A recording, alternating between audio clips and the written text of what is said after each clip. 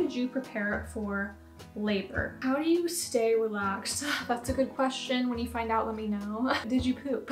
What's it like to birth your placenta and did you consume it? Is there anything that you would change about your birth?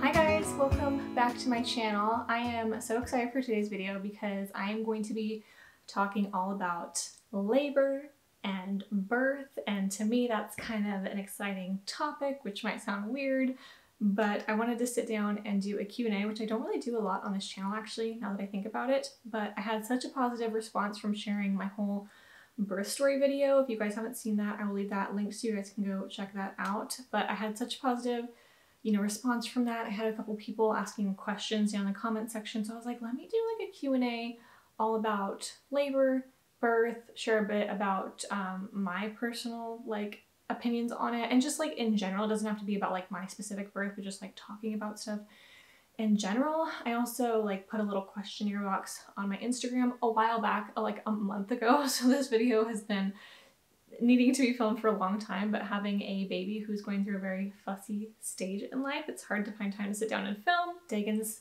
keeping her occupied right now so I can finally sit down and film this. So I saved some questions that people asked a long time ago, so I, I'm sorry that this is getting out so much later, but better late than never, right? All right, we're gonna dive right into this. First question is, how did you prepare for labor? I'm not sure like if they're meaning physically, mentally, so I'll just kind of share like my process of how I prepared for that.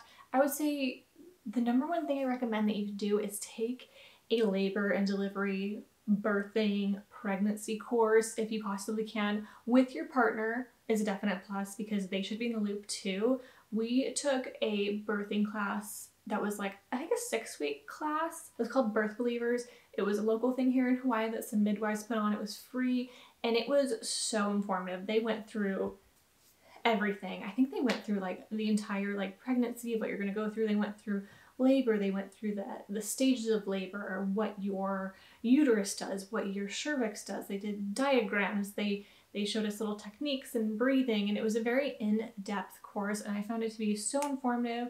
We watched videos, we learned about different cultures of birth and learning how to basically have a beautiful experience within birth because I definitely feel like society makes birth out to be very scary and fearful and traumatic. And while birth may not always be the most pleasant experience, I feel like just like as a society, we just view it in such a negative light and it is such a beautiful thing. And so they really just like focused on that and they share different perspectives of if you're going to give birth in a hospital or in a well they don't have birthing centers in Hawaii but at home and what to expect if you're going to be in a hospital and how to advocate for yourself and things to do at home and techniques that your partner can do to help you get through it and it was just very informative. Another thing that I prepared for is like postpartum things that you can prepare for which is like getting meals ready, getting like postpartum things for like diapers and icicle pads and that kind of stuff. I'm, I'm going to plan actually do a video all about postpartum, which I really, really want to do. I've been wanting to do this for a while because I feel like it is so important to talk about postpartum. It is not talked about.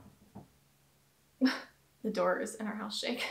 It is not talked about enough, um, and I really want to just like share my postpartum story. So I will get to that. Hopefully that will be the next video that comes up. That's what my goal is. But anyways, besides all that, uh, this probably isn't the answer that you're looking for, but it's it's hard to prepare for labor because uh, you don't really know how it's necessarily going to turn out. I mean, you can prepare as much as you can mentally, physically. Uh, I would say like throughout most of your pregnancy, if you can, try to stay active, doing lots of walks. Don't like strain yourself, but doing lots of walks, stretching, keeping yourself loose. If you have like any birthing books that you want to read, there is a book by, I don't have it up here, but it's by, hold on, one second.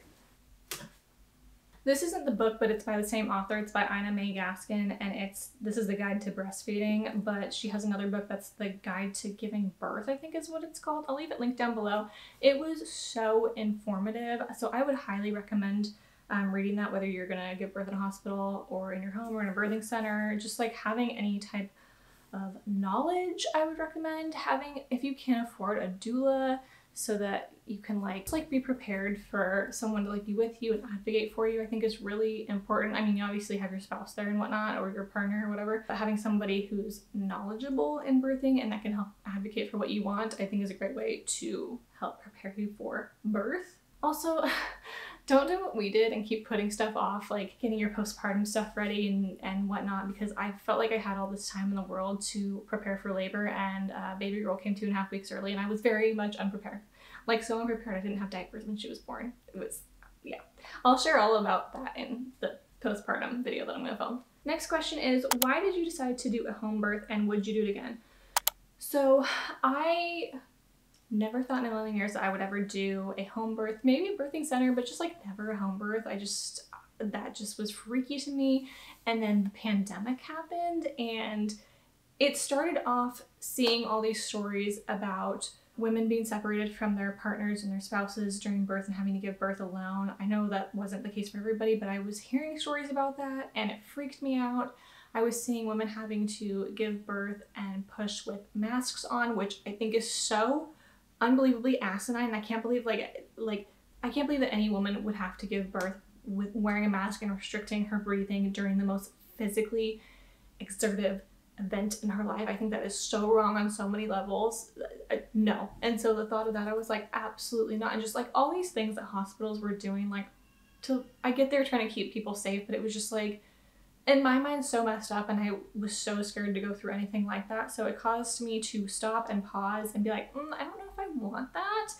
And then after like thinking about that, it caused me to go down like a rabbit hole of just learning about natural birth and home birthing and just the freedom that you have at home or in a birthing center that you might not have in a hospital, whether that's like the positioning of giving birth and just like the freedom of being able to walk around and eat food and just like stuff like that. I just I wanted to be able to like give birth and just like be in the comfort of my home and not have to worry about like transferring because for me I had a really rough postpartum so the thought of having to like get out of my bed and get into a car a couple days after giving birth I would have not been able to do that. I was just like it was rough for me so I just really wanted to be able to make my own decisions and be empowered and not feel pressured by the big hospital system. And there's so many other reasons behind that, but yeah, I just wanted to be in the comfort of my own home and also have the people that I wanted to have at my birth and not have like random people that I don't know be coming in and out. I wanted to be able to rest and all that kind of thing. Um, I'm not against hospital births. I know so many people that have given birth in hospital and had amazing experiences. I think that should be every woman's choice to be able to where they want to give birth. And oh, I would definitely do it again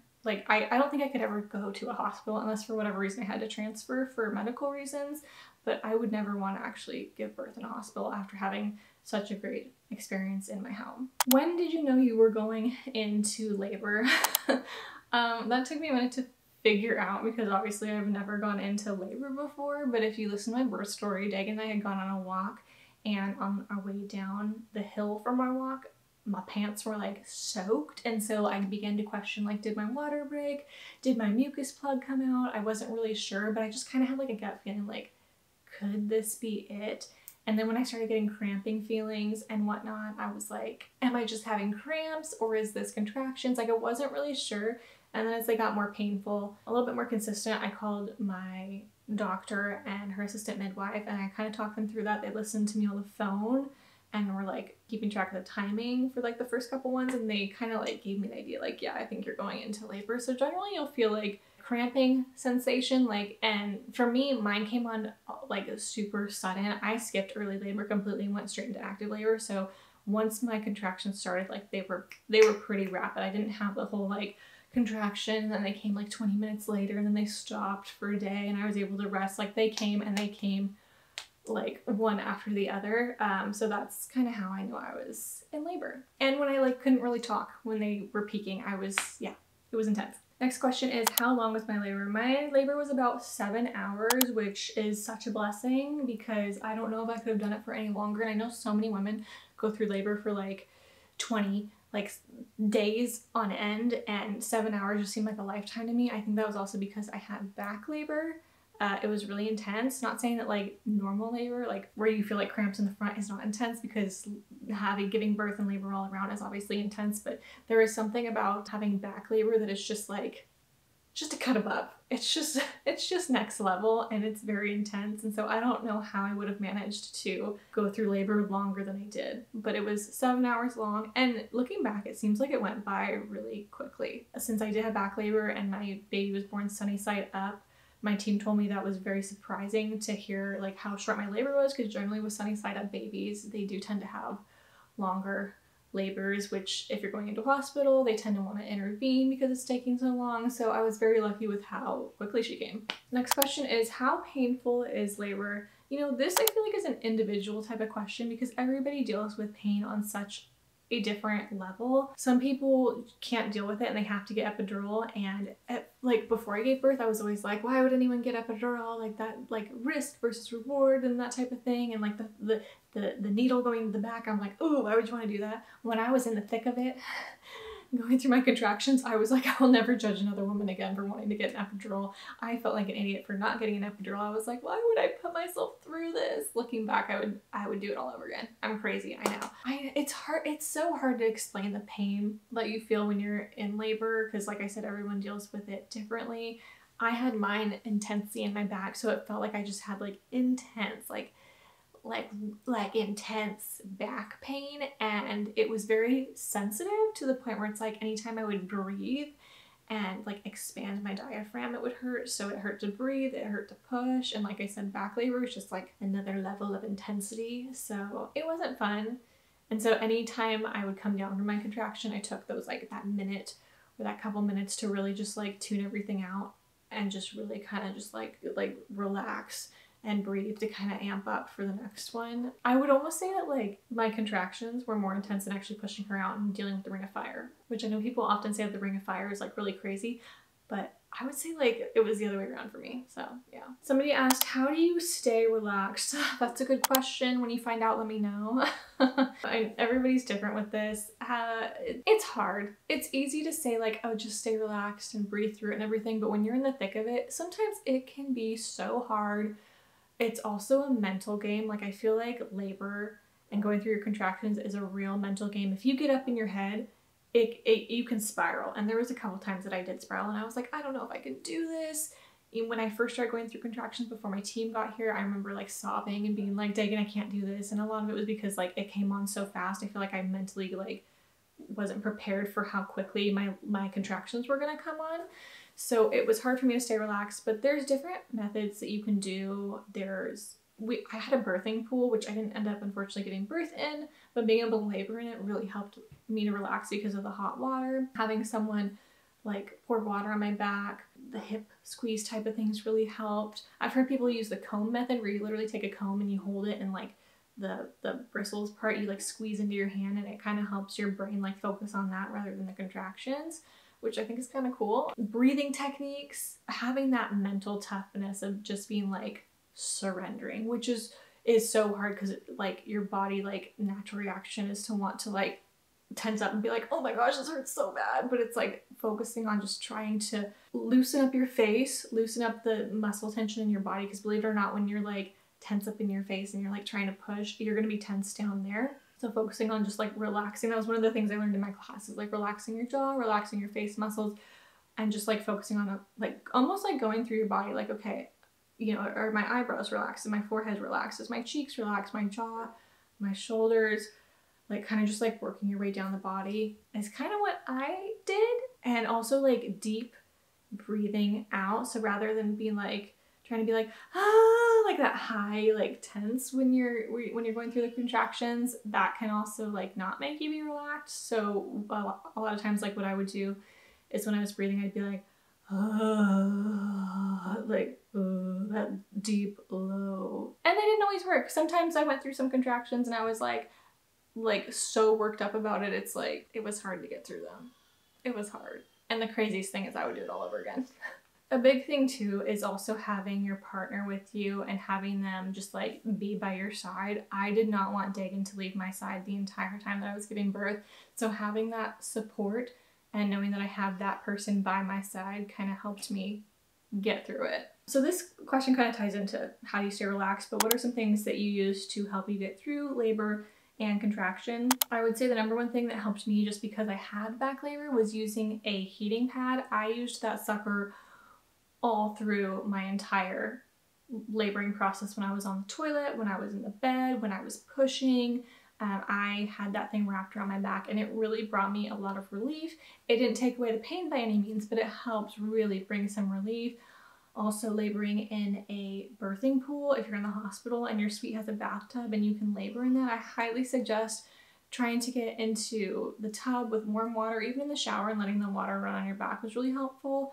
So when I was laboring, like I said, I was in the pool a lot. Dagan would be pouring like water on my back. Another thing that helped was like, I can't remember what the proper term is, but there is like something that your partner could do or your team can help you with where you're going through those contractions and it's like a hip squeeze where they literally take like the back part of your hips kind of like, I want to say like near your butt and they push and squeeze really, really tight and it kind of counteracts that pressure. So that can really help. I've seen people, um, there's methods where you can take like a band and kind of put it under your waist and your partner's kind of bent over a ball or something or leaning on the bed or a counter and they can kind of lift your hips and that helps relieve that pressure. Sometimes if I was overheating or I needed to cool off because my birthing pool was for whatever reason really hot so I had a cold washcloth over my face. You can put like an eye patch over your eyes, especially if you're in a hospital and you have the bright lights and you just kind of want to zone out, put an eye patch over your eyes so you're not having to like deal with the bright lights and you can kind of be in a more relaxed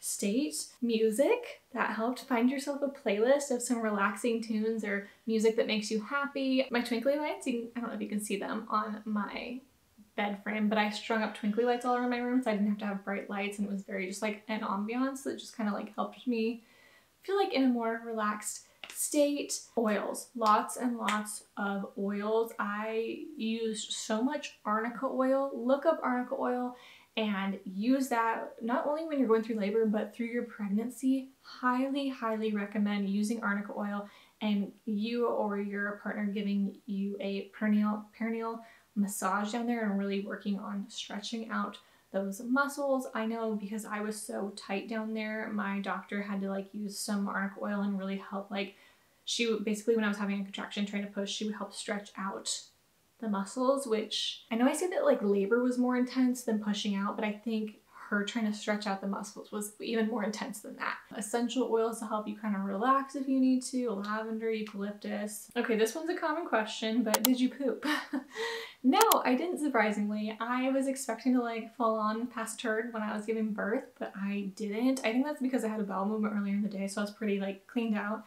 It's common for women though to poop during labor and honestly like I feel like a lot of people are worried about that or they're to feel embarrassed if they poop in front of people, but in the moment you are not to probably realize that you've pooped and you're not to care because you're going through so many other things. The last thing on your mind is like, did I poop?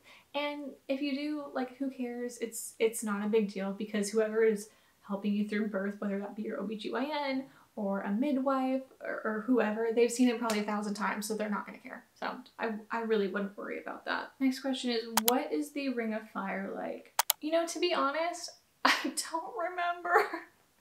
like I said, I think dealing with my contractions and having my doctor do my perineal stretches when I was trying to push was so intense and having my back labor was so intense that to me the ring of fire didn't seem that bad and I don't remember feeling it. I mean, I probably did, but looking back, it's not something that I remember is like, oh my gosh, that was so painful. Basically, the ring of fire is like when your baby is like crowning and you're like you're being stretched to the max. I don't remember what it feels like. I really don't for some reason. I do remember though when she was crowning and I didn't realize that she was crowning and my team was like, her head's right there. And I remember Dagan, he was sitting next to me on the bed and he was like, oh my gosh, her head's like coming out. I can see her head. And for some reason I was thinking like, you could see her head from like the inside of me, but I didn't realize like, like her head was like, her head was like sticking out and I had reached it down and I had like literally like felt the top of her head and I was like like there's a picture which I can't post because I'm I am exposed but there's a picture of me reaching down and I'm like because I couldn't believe her head was like crowning out and, and, I remember saying to my doctor like how many more pushes until she can come out because I was so excited. I, I guess that was the mo moment of the ring of fire but I don't remember it hurting. I remember if anything adrenaline and being excited because I couldn't believe she was coming out. So I know that's not very helpful, um, but that was just my experience with the Ring of Fire. Every time I talk about the Ring of Fire, I think of Finding Nemo and they're like, the Ring of Fire! I always think about that scene and they're like, isn't there another way? He's just a boy. Next question is, how long did you push? Gosh, I felt like I was pushing for an eternity. Which looking back, I wish I wouldn't have pushed so much because I really felt like my labor was seven hours and I felt like I was almost pushing like that whole seven hours. I wasn't, but it felt like I was pushing a lot. And I think it was also because I was learning how to push. If you haven't given birth before, it's a real learning curve to figure out the right way to push. It's almost like you have to have the mindset like you're trying to take a poop when you push. But I feel like I was trying to push so much um, that I really like strained myself. I was very exhausted looking back, I wish I would have kind of let my body go through the motions a little bit more and kind of like push when I felt like I needed to push. I felt like I was kind of almost force pushing through my contractions sometimes because my team was encouraging me to. And I don't think that was because like they were not knowledgeable about when I was supposed to be pushing, but my team knew that I had back labor. I didn't realize I had back labor because I didn't know what that was at the time until afterwards. But I think they were trying to coach me to like push because they realized how intense that feeling was and I think they wanted to like just like get me out of that discomfort. They wanted me to just like get through it rather than having me suffer any longer. But I almost wish I would have let my body do its thing more rather than forcing it because it did at times feel a little bit forced, if that makes sense. How did you avoid tearing? I'm so scared it will hurt. Well, I didn't avoid tearing. I did tear.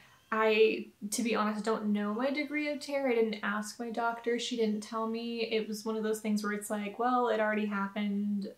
What good is it going to do if I know how much I tore, I guess? She did have to do stitches, so I probably did have a significant tear. Okay, I ran out of room on my camera, so I had to delete some footage. Anyways, what I was saying though is I did tear a little bit on the lower part, and so I did have to get stitches, but I didn't feel anything because my doctor put lidocaine down there, so I didn't feel a thing. I did feel one poke at one point because I don't know if it didn't sit for long enough or she just didn't put enough in that one area, so she put some more down there. I didn't feel a thing, so make sure that like, make sure they numb you up because I feel like sometimes like women don't get numbed up and I think that is, oh, that's just so that's so wrong. So advocate for yourself be like hey i need some numbing stuff down there and let them know if you can feel it and whatnot. I don't really have any advice as far as like how do you avoid tearing because obviously i did tear. My one thing is i i wish i would have done more perineal massages throughout my pregnancy. I feel like that would have helped get some arnica oil or jojoba oil and just practice like really stretching out those muscles. I am an overall very tense person in my pelvic region so that's one thing that like I wish I would have worked more on, but that's my only advice that I can give you as far as like not tearing. Do a lot of massages. This was another question, same as kind of like the last one. Did getting stitches hurt? No, it didn't hurt because my doctor put lidocaine down there, so I was completely numb. So make sure you ask for lidocaine if they try to stitch you without any, like, speak up and say something because that is excruciating and no woman should have to go through that. What's it like to birth your placenta and did you consume it? Uh, birthing your placenta, it's kind of almost like, well, it's a lot easier than birthing a child out, but it's kind of just like you're birthing like a big blood clot, I want to say. Like it just feels like a big like blob coming out of you and usually it should come a couple like minutes after you give birth. I honestly don't remember the time frame of when I birthed mine and I literally just gave like maybe like two little pushes and it kind of just like plopped right out. Oh, and the other question is, did I consume it? Yes, I did. to gross some people out. Some people get it encapsulated into pills. I did not. I ate the thing raw. I know, I'm gonna gross so many people out by saying that. I didn't eat the whole thing. I didn't like take a chunk out of it. My team prepared it afterwards and they cut like, I want to say like 12 little pieces, like small little pieces up and I just because I, I bled a lot afterwards and so generally when you consume your placenta that helps with postpartum bleeding so I consumed mine and I would just like drink it back with some juice or something so I couldn't really taste it and it wasn't really all that bad I still need to bury ours I know a lot of people when you're in the hospital you they just like throw it away. You can also request to take your placenta with you from the hospital if you didn't know that. So if you want to do something with it, ask to take it home with you because they cannot keep your placenta. That is your yours to have. But I plan on burying it. A big thing in Hawaiian culture and Polynesian culture is to bury your placenta and plant like a tree or like a flower bush or something over it. Obviously we are renting our home so we can't do that, but I am gonna probably just like bury it in the ground here and it'll disintegrate. So right now it's just sitting in our freezer. The next question is, is there anything that you would change about your birth? To, I mean, this sounds cliche, but I would not change a thing about my birth. And for the main reason that I birthed a beautiful, healthy baby girl. Nothing went wrong. I didn't have to transfer. It went the best way that it possibly could. So I wouldn't change anything about it. What I would say is for my next birth, there were some things that I would maybe want to try differently. Like if I were to get pregnant and give birth again in Hawaii, I would use my same exact team. They were amazing. I love my doctor in every way possible. She is phenomenal. She is so knowledgeable on birth and just postpartum and pregnancy and everything and I felt like I learned so much from her and she also just like gave me the freedom to make my own decisions and like with the fact of equipping me with knowledge and being like, this is what happens if you do this, or this is what happens if you do this, or you have the option to do this if you go into a hospital, or you can do this. And I just felt like I had so much empowerment to make my own decisions with having her on my team, so I would use her all over again. I would say the thing that I would do differently though is maybe have a doula because I feel like there were some times where I struggled to get through contractions and whatnot, and my team is very hands off. Like my doctor was very hands off, which I loved, but I felt like I wish I would have had a little bit more support, I guess. And that that sounds like bad, like they weren't doing their job or anything. That's not the case because they did everything that they could and they actually did help me a lot through my contractions and whatnot. But I wish I would have had a, do- a doula who's like, that is literally their job to help you get through contractions, to advocate for you, to be like, hey, let's try this or let's let's do this. And really just like their main focus is on you. And like I said, that that makes it sound like my team like didn't focus on me or wasn't helping me and that's not the case because they did try different things with me. They were like hey let's do these other things. But i don't know i just wish i would have had a doula to kind of like help me get through those contractions because my husband did help me a lot too.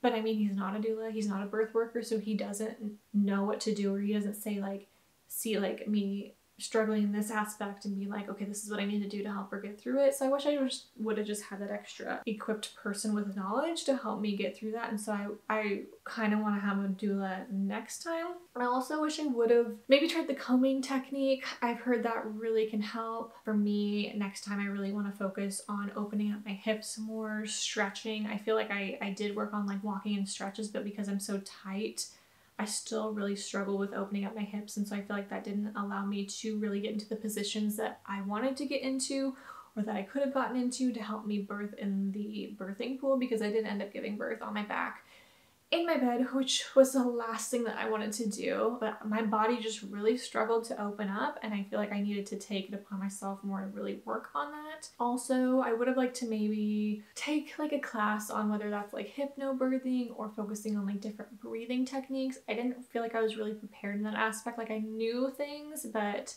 I didn't really have a game plan, I guess, going into birth. I kind of just like, I like knew things, but I kind of also winged it. And next time I'd like to have more of like a oh, I'm going through this, let me try this. It was more of like, I was looking to people to be like, what do I do? You know, type of thing.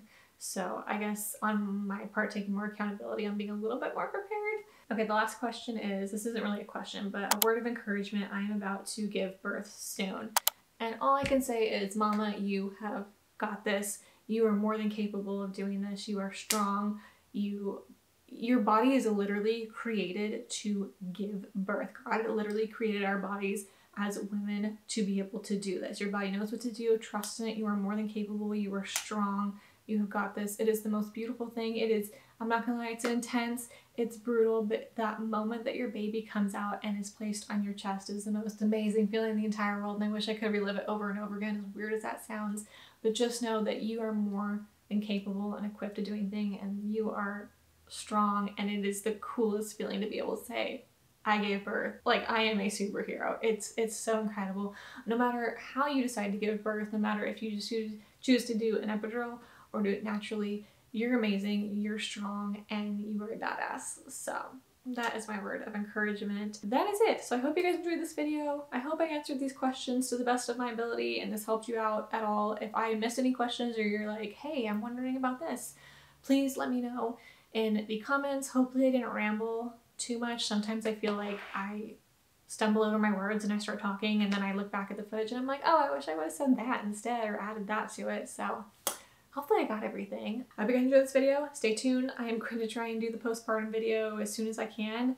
I'm excited, but I'm also nervous because I know it's going to be a very vulnerable video for me to open up about and talk about. But like I said, I do think it's very important to share and um, be able to tell my story because not enough women, I think, have the knowledge about it. And I just think it's a very important topic. So anyways, hope you guys enjoyed this video and I will see you in the next one. Bye!